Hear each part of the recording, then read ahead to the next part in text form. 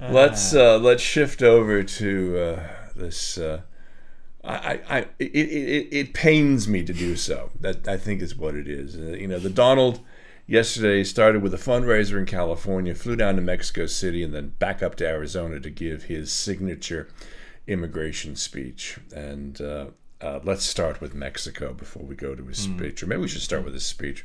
Let's, let's start with his speech. Um, here's a, um, a, a brief look mm. at what the Donald had to say about how he's going to handle immigration going forward. We will build a great wall along the southern border. And Mexico will pay for the wall. On day one, we will begin working on an impenetrable, physical, tall, powerful, beautiful southern border wall. After meeting with their wonderful, wonderful president today, I really believe they want to solve this problem along with us, and I'm sure they will. I am going to create a new special deportation task force focused on identifying and quickly removing the most dangerous criminal illegal immigrants in America who have evaded justice, just like Hillary Clinton has evaded justice, okay? We are going to suspend the issuance of visas to any place where adequate screening cannot occur. I call it extreme vetting, right? Extreme vetting. I want extreme. It's going to be so tough. And if somebody comes in, that's fine, but they're going to be good. It's extreme. Countries from which immigration will be suspended would include places like Syria and Libya.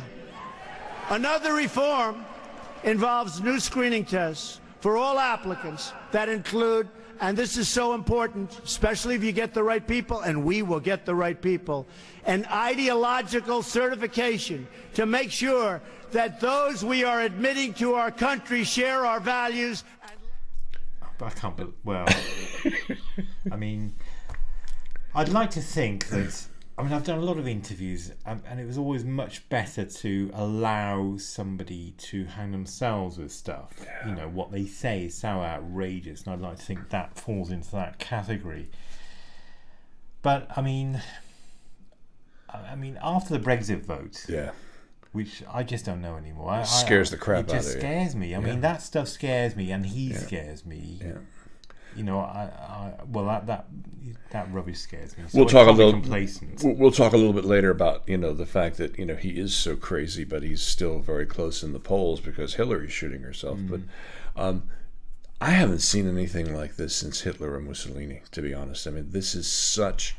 I mean this is end of the Republican Party as we know it, much like mm. we're seeing with Labor here. Is that I mean this party is literally going to split itself apart and go the way of the Whigs. Uh, you know, the WHIG Whig Party.